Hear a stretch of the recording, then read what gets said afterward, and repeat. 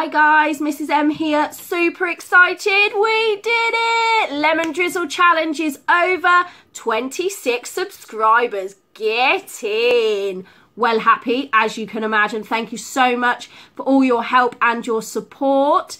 So, here it goes. You're to get the legendary Murray lemon drizzle cake. Let's get started. As always, wash our hands, warm soapy water.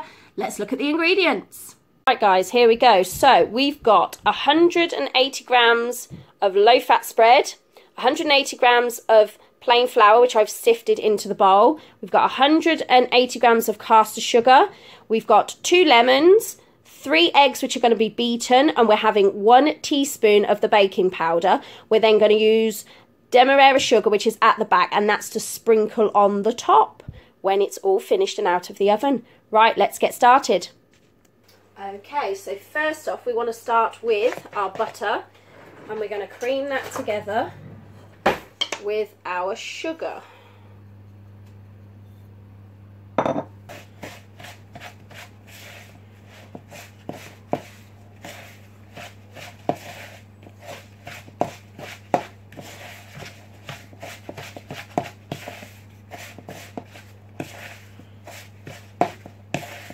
Now because it's low fat spread, it's a lot easier to cream together because it's a lot softer. So it shouldn't take too long. Like so. There we go. Right, then what you want to do is you want to take your two eggs you want to beat them lovingly, like I always say.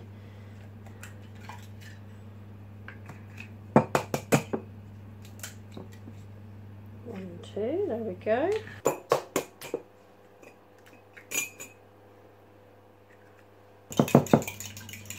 And it's pretty much the same as if you were making a normal cake. So you'd add a little bit of your egg. Give that a mix round. When it looks like it's trying to separate, keep going, don't panic. And then you want to add in a bit of your flour. Now I've already sifted my flour into the bowl. If you haven't and you want to sieve a bit of your flour in. There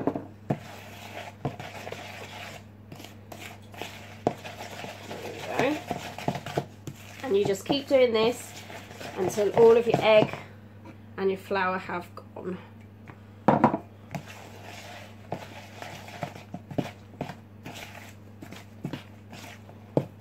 I'm so, so pleased to be sharing this recipe with you. I had quite a few people ask for it, like I said in the challenge, I was a little bit reluctant to give you this because this is my staple bake.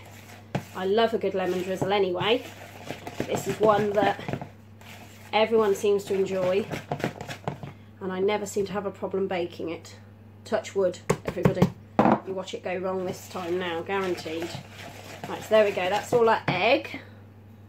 Put the rest of our flour in.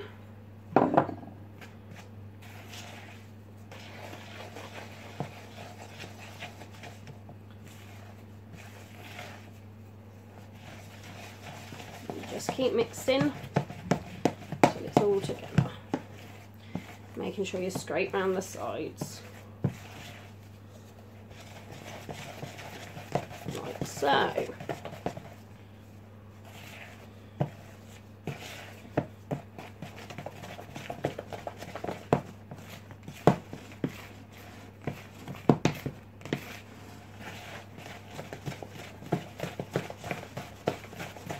there you go, there's that one. Right, now what we want to do, get these few bits away, you want to add in there the zest of both your lemons. Now what I normally do is I just use my grater and I use this sort of bit on the grater and I just grate my lemon zest in. This is what's going to give it lovely, lovely taste.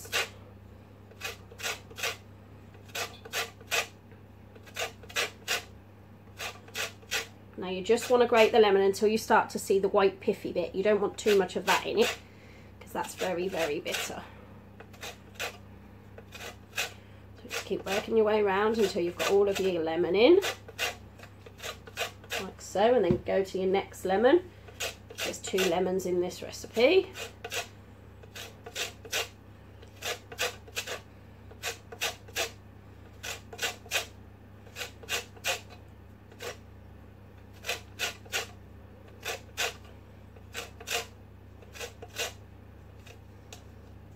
working your way around until you've zested all the lemon. Now obviously if you've got a zester, fantastic, use that, but at present I don't.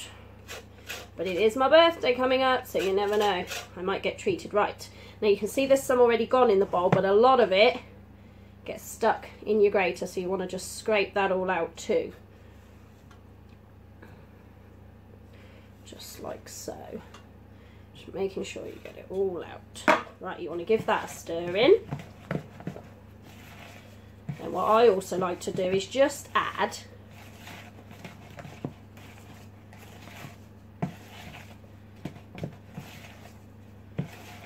a little bit of the juice as well.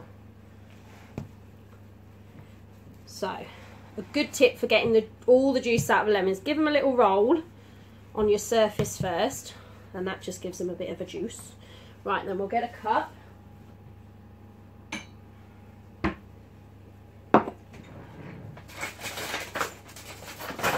And for some reason today, I can't find my lemon juicer either. So I'm just going to do it through my fingers, good old fashioned way. Or even just give it a good squeeze, like so and you want to get all your lemon juice out. Don't worry if you get a few of the pits in there, that's not a problem. You can always fish them out later. Or like I said, if you want to, squeeze it through your fingers like that and you'll catch the pips as you do it.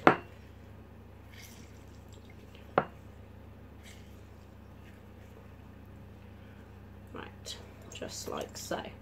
Now you're going to need the juice of all these later anyway, but at present, I'm just going to use a little bit. So we'll do the rest of that later.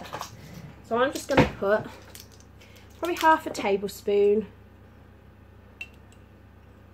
of the juice into my mixture as well just because I think it gives it that extra lemony kick it's quite nice so there we go give that a mix round and I've also just remembered looking at my recipe that I forgot my one teaspoon of baking powder as well so I better get that in hadn't I not to worry if you do forget things like this. You know, you can put it in later.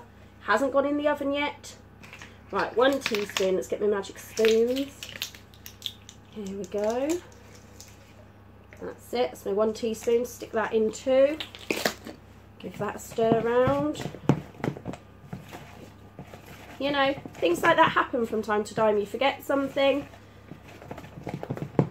It's okay.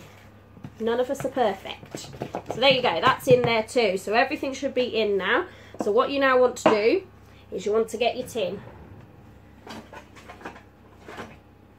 And you want to line it with your baking parchment. So let's get the baking parchment at the same time. So here's our baking parchment.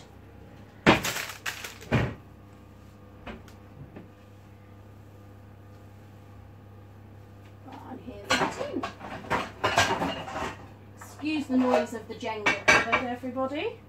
That's what we call it in our household. One cupboard that's got everything in and it always goes AWOL. Right, so you want to get enough of your paper.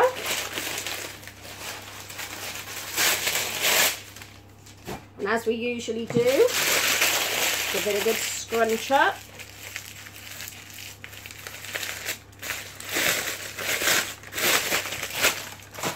And you just want to line it in.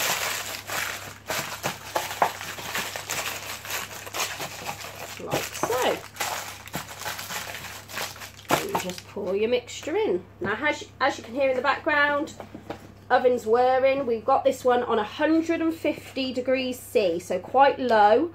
It's one of those long bake recipes again, but I find they turn out the best. there we go. Move it around in your tin, make sure it gets all in the corners. Scraping as much of the bowl as you can.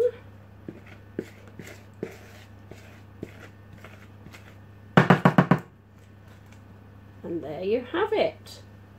Right, so that one needs to go in. You need to bake this one for about an hour. So, in it goes. We'll stick an hour on my trusty kitchen timer. There we go. And I shall check back with you shortly when it's out of the oven.